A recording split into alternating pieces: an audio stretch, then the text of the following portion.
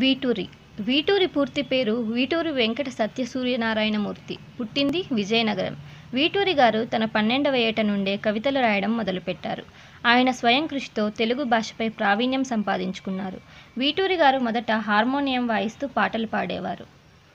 ఆయనకి హార్మోనియం మీద ఉన్న ఆసక్తి నాటకరంగం వైపు అడుగులేయించింది అలా ఆయన నాటకాలు రాయడం మొదలుపెట్టారు.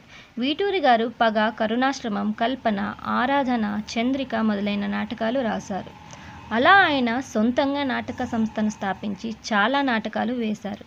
వీటూరి గారిని తరుణ కవి అన్న బిరుదుతో సత్కరించారు. వీటూరి పేరుతోనే కాకుండా ఆయనకి జ్యోతిర్మయి జ్యోతి కుమార్ అనే పేర్లతో ఆంధ్రపత్రిక ఆంధ్రప్రభ మొదలైన పత్రికల్లో కథలు రాశారు. సినిమాలపై ఆసక్తితో పంతొమ్మిది వందల యాభై ఎనిమిదిలో వీటూరి గారు మద్రాసు వచ్చారు. సదాశివ బ్రహ్మం పాలగుమ్మి పద్మరాజు గార్ల దగ్గర లవకుశ ఇంటిగుట్టు కృష్ణలీలలు భక్త శబరి వంటి చాలా చిత్రాలకు అసిస్టెంట్గా పనిచేశారు. భక్త శబరి చిత్రంలో కొన్ని పాటలు పద్యాలు రాశారు. హెచ్ఎం రెడ్డి గారితో పరిచయం కలగడంతో గజదొంగ చిత్రానికి మాటలు రాశారు. పంతొమ్మిది వందల అరవై రెండులో వచ్చిన స్వర్ణగౌరి చిత్రానికి మాటలు పాటలు రాశారు. ఈ చిత్రంతోనే ఆయనకు పూర్తి స్థాయిలో అవకాశం వచ్చింది.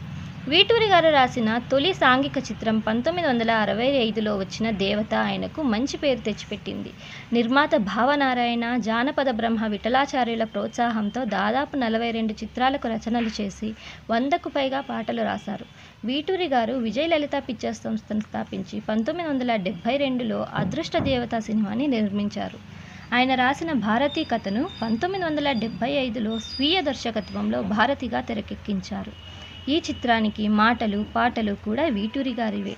పంతొమ్మిది వందల అరవై ఏడులో వచ్చిన శ్రీ శ్రీ శ్రీ మర్యాద రామన్న చిత్రంలో వీటూరి గారు రాసిన పాటతోనే ఎస్పి బాలసుబ్రహ్మణ్యం గారు గాయకుడిగా పరిచయమయ్యారు. వీటూరి గారు పంతొమ్మిది వందల ఎనభై నాలుగులో మద్రాసులో కన్నుమూశారు ఎందరో మహానుభావులు అందరికీ వందనాలు.